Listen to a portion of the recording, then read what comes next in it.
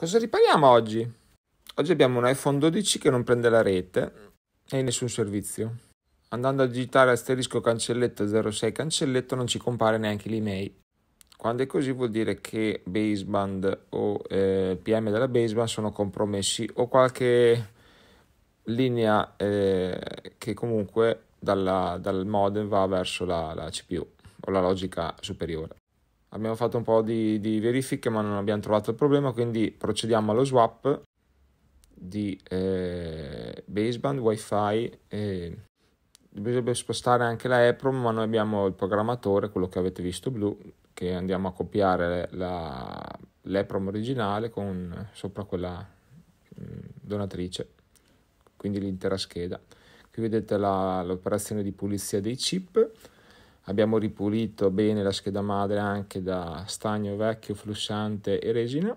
Stiamo effettuando il reballing dei due integrati, quindi baseband e wifi.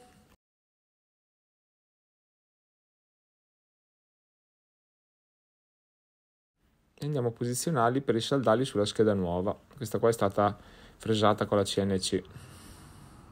Ripuliamo l'interposer dallo stagno vecchio velocemente e ora andiamo a eseguire il reballing del, dell'IRRF. Andiamo a porre stagno a 138 gradi, poi andremo, andremo a fonderlo con la pistola termica e poi appoggeremo tutto sul preriscaldatore, l'air inferiore e l'air superiore sovrapposti per far fondere tra di loro lo stagno.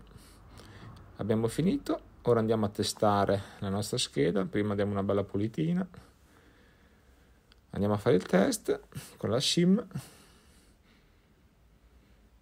vediamo che si accende tutto, rileva la SIM e andiamo a fare tutte le, le, prove del caso. Vi ricordo il bellissimo corso che si svolge a Roma con Rewa. Partecipate numerosi. Ciao ciao!